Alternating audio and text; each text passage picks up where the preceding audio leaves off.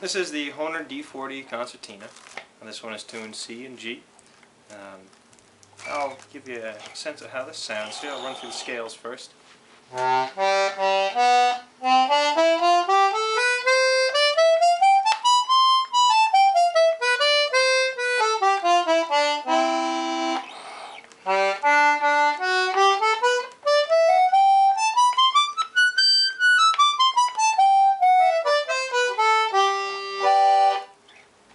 This one is brand new. Um, really nice compression on these. It's a good starter instrument, uh, especially it is an Anglo concertina. So if you're interested in that style, this would be a great starter for that. Um, I'll try and play a couple tunes here for you have a sense of how this can sound.